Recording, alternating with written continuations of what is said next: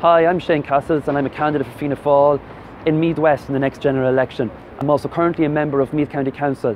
I've been lucky enough to serve in the council over the last 17 years and work on a host of different issues to try and improve people's lives. I'm married to Fiona Healy and we have three wonderful children, uh, Clodagh Jane, Noah and Bobby.